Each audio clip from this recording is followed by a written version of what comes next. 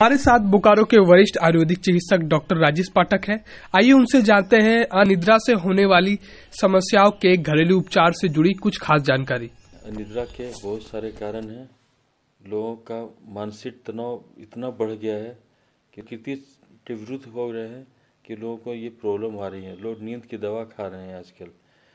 ये जो कॉन्सेप्ट है ना early to bed and early to rise makes man healthy wealthy and wise ये बिल्कुल सही है। लोग आजकल क्या करते हैं, रात्रि जागरण करते हैं और दिन में सोते हैं। तो जब प्रकृति के विरुद्ध आप जाएँगे तो अनिद्रा की प्रॉब्लम वहाँ से उत्पन्न होती है। सबसे बढ़िया घरेलू उपाय है, लोग तीसी का यूज़ करें। तीसी को एक एक चम्मच सुबह शाम गर्म पानी से लें तो उससे नींद की समस्या पूरी हो जाती है। बच्चों में बादाम अगर दिया जाए, चार से पाँच रात में उसको भिंगो दीजिए। सुबह छिलटा है तो चबा के खा कर ऊपर से एक गिलास दूध पी लिया जाए।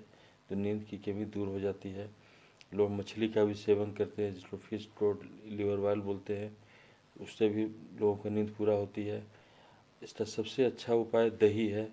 अगर दोपहर में दही का छाछ बना कर लिया जाए तो नींद की समस्या दूर होती है।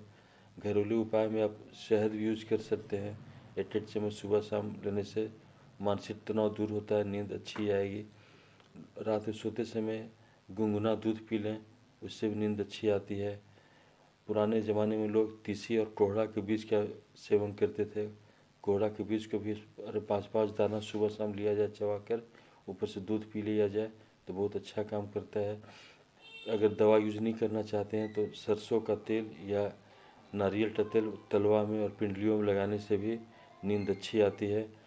और आप दवा के रूप में लेना चाहते हैं तो सर्वगंधा अश्वगंधा ये सब मार्केट में इजीली मिल जाती है। किसी भी राशन दुकान में जाएँगे, मिल जाएगी।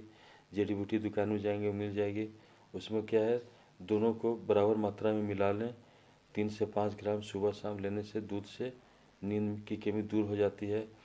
बच्चों में ब्राह्मी और सेंट पुष्पी का बहुत ही अच्छा योग है। अगर ब्राह्मी, सेंट पुष्पी बच्चों में दिया जाए तो नींद की कमी को दूर किया जाता है। और अगर मान लीजिए कोई बीमारी से लोग ग्रसित हैं मानसिक तनाव है, उस टेस्ट में हमारे यहाँ आयुर्वेद में सबसे कर्मा में शिरोधारा का बहुत ही अच्छा रोल है। इसमें मानसिक से जुड़े हुए बहुत सारे तेल हमारे यहाँ पाए जाते हैं, जैसे ब्राह्मी वगैरह का है, उसका सर पे डालने से बहुत ही अच्छा रिज़ल्ट मिलता है। और सबसे बढ़िया उपाय है आपका योग। अगर आप डेली एक्सरसाइज करते हैं तो उसमें क्या है कि आप जितना ऑक्सीजन लेंगे, उतना आपका ब्रेन तक ऑक्सीजन पहुँचेगा। वो सबसे अच्छा नींद का प्रॉब्लम को ठीक करता है, इसलिए करें योग, रहें निरोग। धन्यवाद।